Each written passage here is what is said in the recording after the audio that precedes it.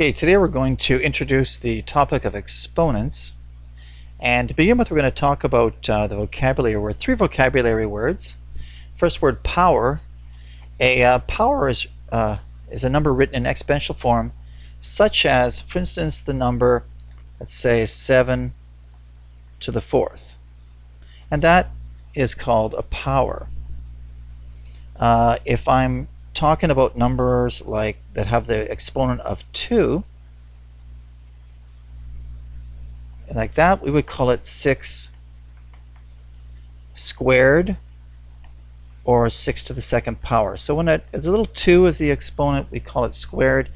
If it was uh, 3, for instance, if I had say 6 with a little 3 on it, we call that 6 cubed and uh, or we just 6 to the third power same thing. Just you know that if you hear the word squared or cubed you know we're talking about an exponent of 2 or 3 which brings us to the word exponent the next vocabulary word. And uh, this is a, the raised number used in a power to show the number of repeated multiplications of the base.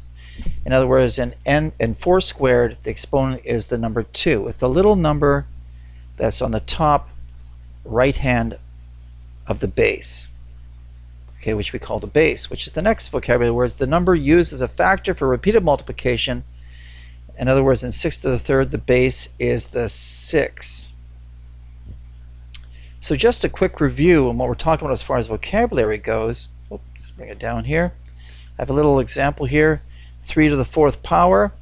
So what happens here, what we're talking about here, the 3 is the base, the 4 is the exponent. Okay.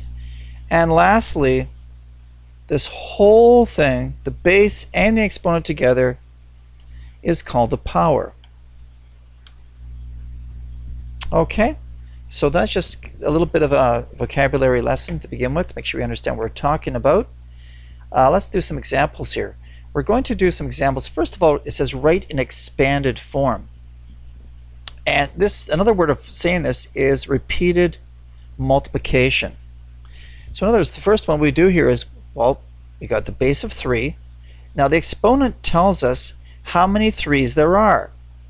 So how many 3's there is? 3 3's multiplied together, and that's writing 3 cubed in expanded form.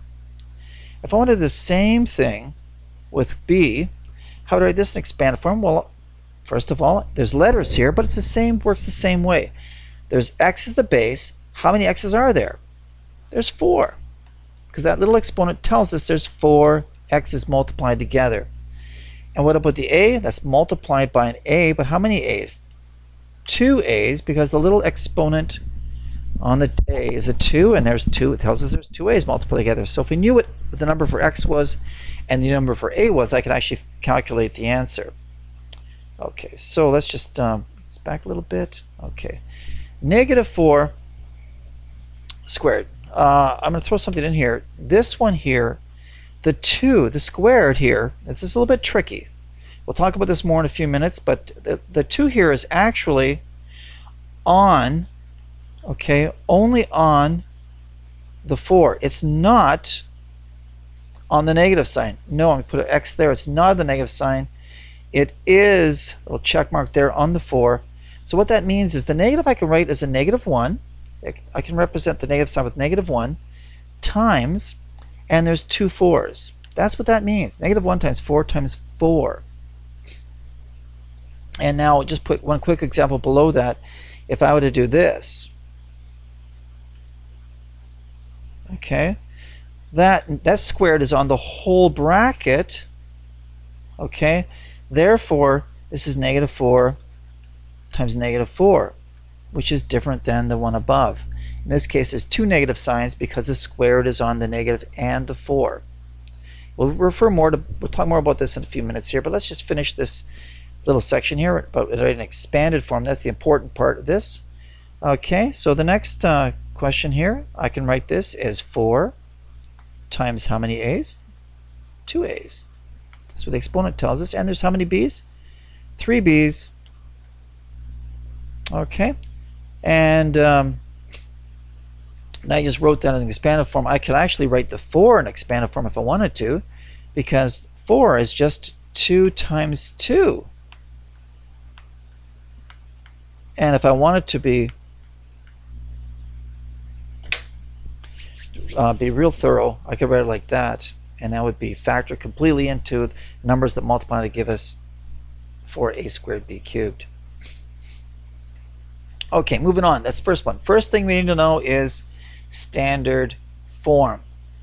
Okay, the next thing we need to learn, we need to learn is um, is about so expanded form now standard form. This means evaluate, or another word for evaluate is calculate the answer. So evaluate means calculate everything we can. If there's letters there, we can't evaluate that necessarily if we don't know what the letters are, what numbers represent those numbers, but we can calculate the number part.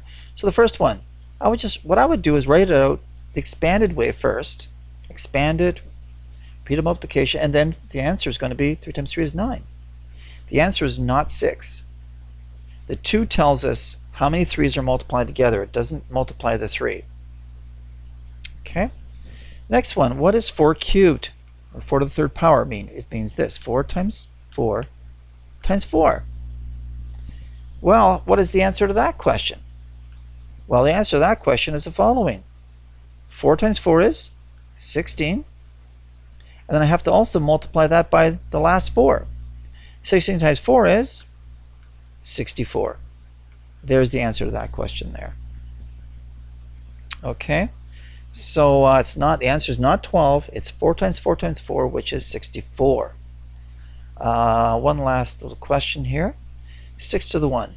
Well, what does that tell us? That tells us there's only one 6 multiplied. Therefore, it's just the answer is 6. So any particular number, if I had the number 24, 24 to the 1 is equal to 24. It's the same thing. Normally speaking, I don't put the 1 in there because I assume if there's the number 24 that there is one 24 there. If there's more than that, I'd put a 2 or a 3 or whatever, how many there are. Okay, so uh, that's standard form. Just calculate, multiply them together, any numbers. Which brings us to the third and last form, and that's the exponential form. In this case, you're going to write it as a power. So the base here is 3. There's 3, 3, and there's 3 3's. So we count them up 1, 2, 3. The exponent then is 3 as well. So 3 to the third is the exponential form of 3 times 3 times 3. The next one, if I have 4 x's there, well the base is what? The base, what's being multiplied together? Well, x's. That's the base. How many of them are there? 1, 2, 3, 4. So the exponent is 4. Pretty straightforward. It's a matter of just counting them up and uh, shouldn't be any big problem, I hope. The next one then is negative 2. It's only one number there to multiply. Uh, how many x's are there? There are three x's. And there's a's. So a is the base, and there's two of them. And that is our final answer. So just uh, kind of recap. Let's do all three of these things. Let's, uh, we've got a little table kind of thing here we've set up. 5 cubed, 5 to the third power. Write that in expanded form, so that's going to equal 5 times 5 times 5. There's three 5's multiplied together. Standard form means multiply that together. So I'm going to multiply 5 times 5 and get 25. Okay, so this becomes 25 when I multiply it together, and then multiply it by 5 again, and it gives me 125 as the standard form. Okay, uh, let's do this again with the next example. Uh, we'll take 4 times 4 times 4. Write it in exponential form. Well, that's just, just how 4 is the base, and there's three of them. So those are equal. And that's equal to 4 times 4 is 16, times 4 again is 64. I think we did that example on the other page, our previous example. That's the answer. Uh, last one here, this one's a bit tricky. Let's look at this a little bit more carefully. If I have this one here, I want to multiply this in expanded form. Well, how do I get this in expanded form? I have to break it down into the numbers that multiply to give us 32. In other words, I have to factor it.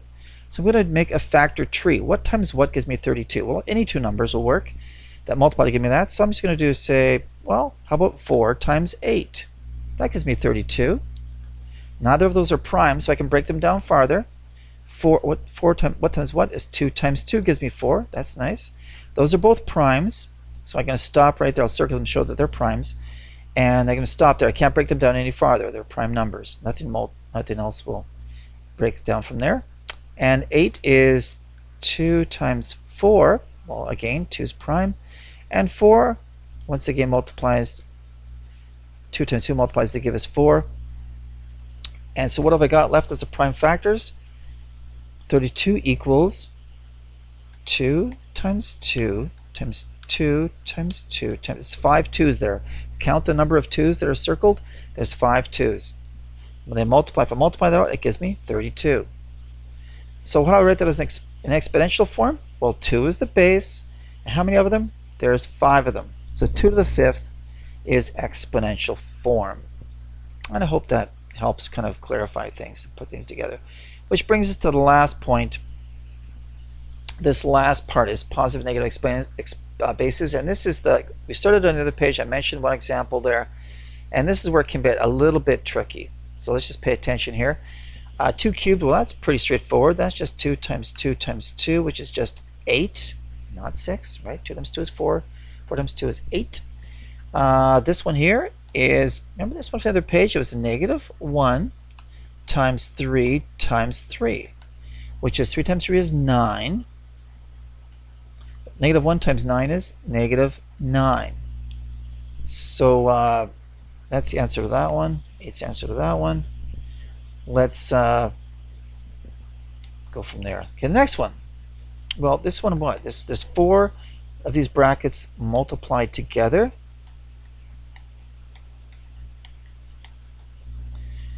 And so if I just first of all do 2 times 2 times 2 times 2, if I just multiply, forget about the negative signs, just multiply 2 times 2 times 2 times 2, it's going to give me 16.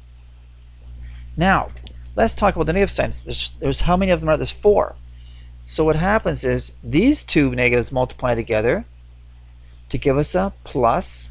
These two, because negative times negative is a positive, we know that, make a positive and then a positive times a positive gives me positive. So this answer is just positive 16. That's my answer. The negatives cancel each other out because there's an even number of them. If there's an odd number of negatives, then it's going to be an extra negative sign which will make it negative.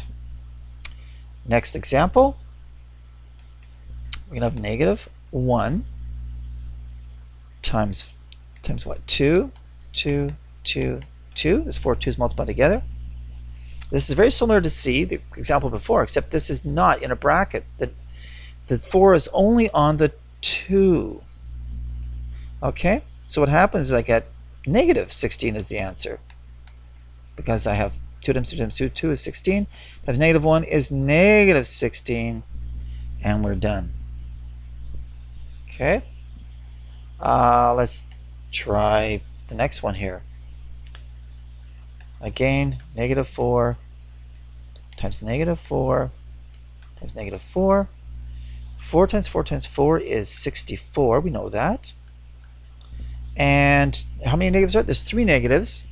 So because it's an odd number, it's going to be a negative answer.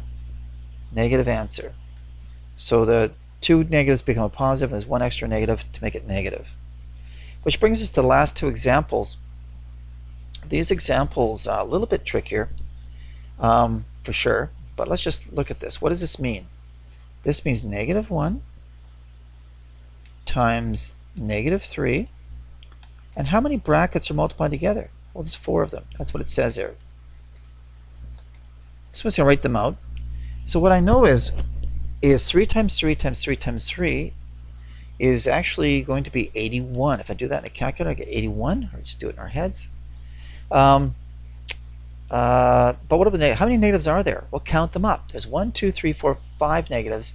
So that's an odd number. Therefore, it will be a negative 81 is the answer. In other words, there's four negatives in the question here, plus one more in front, which gives us five. Okay, what about the next, the last question? Just to finish this off, uh, let's uh, look at this one here. Well, 2 cubed, I can just I'm going to forget about the negative signs, okay? Just, just do the numbers. 2 cubed is 8. 2 times 2 times 2 is 8. Times 3 times 3 is 3 squared is 9. Well, that gives me 72. What about the negative signs? Well, there's two negatives there because it's squared. There's three negatives there, and there's one more in front. That adds up to six. There are six negative signs. Six negatives. Well, that's an even number, therefore they'll all cancel each other out in pairs, three pairs, and it will give us a positive 72 as a final answer. And I hope that that is a good beginning to understand exponents before we tackle the topic of the uh, exponent laws.